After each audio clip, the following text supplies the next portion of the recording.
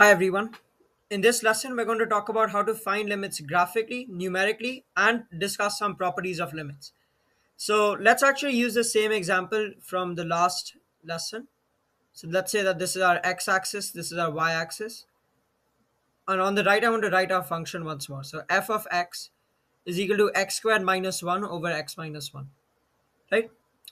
Um, and we already found a few values, right? So we know that f of 0 is equal to 1 we know f of 1 is not defined, right? So I'll just write dne, so does not exist or undefined.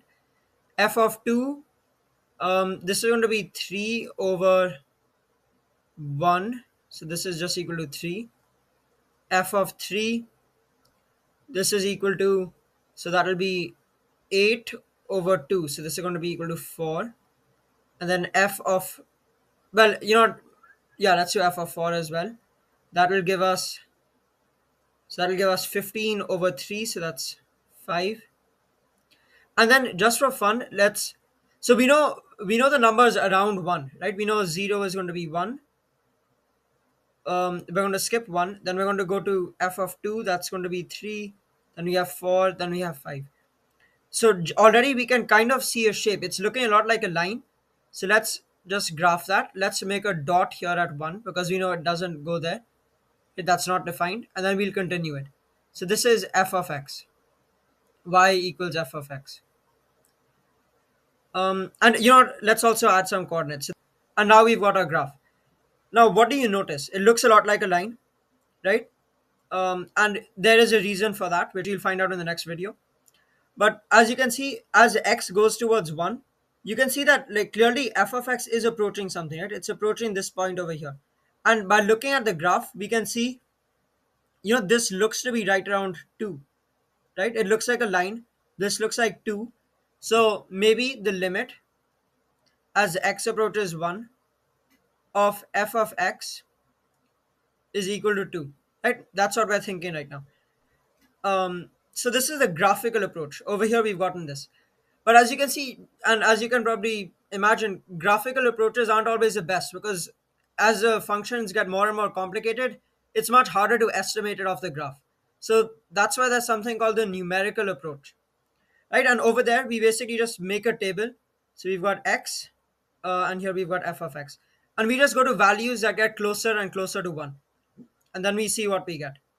So let's say that x is equal to 0 0.5, right? When x is 0 0.5, what do you get over here?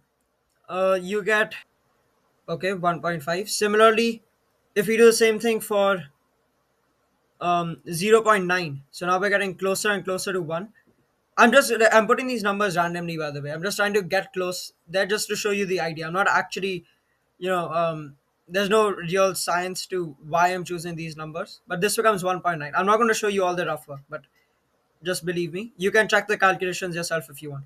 And if we go to 0.99 then this will go to 1.99 right? Now again we can't figure out what it is at 1 exactly so we'll skip that. But we can we'll still put 1 here but we aren't going to write the value down there.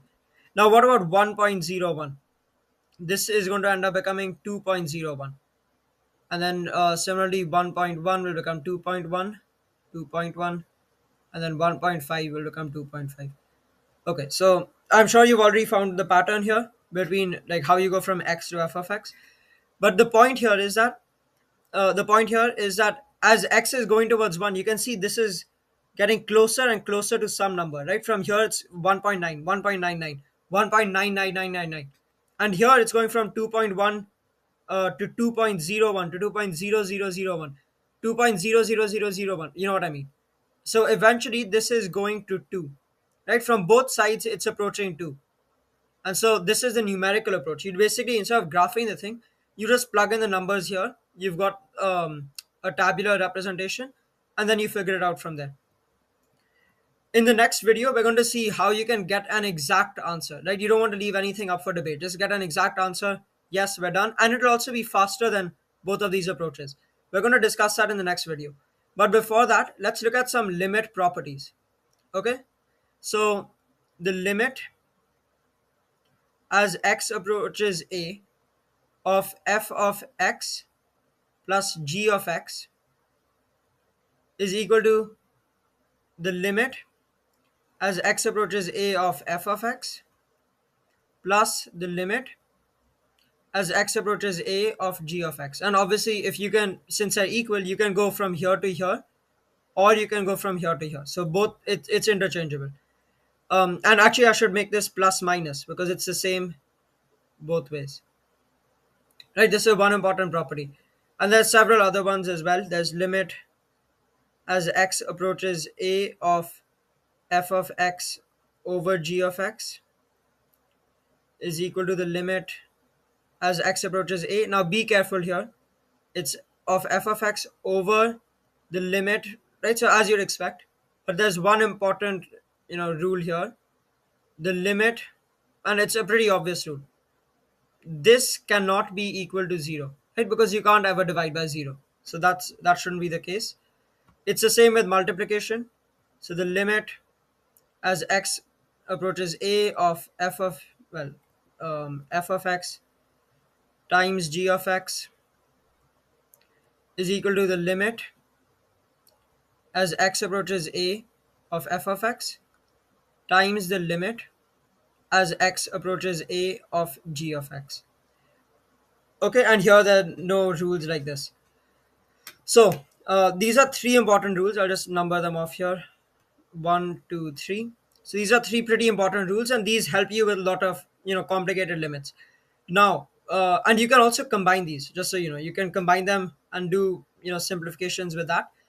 There are other rules as well, but we'll we'll get into those in other videos. These are the three basic rules that you need to know for now, and um, yeah, just keep in mind. So over here we did get the answer of two, right? Both ways we got this answer of two, and in the next video we'll find another way to get that answer, but without any, you know, there won't be any room for error. There won't be any room for doubt, and we'll also get the answer in a much faster way. So I'll see you there.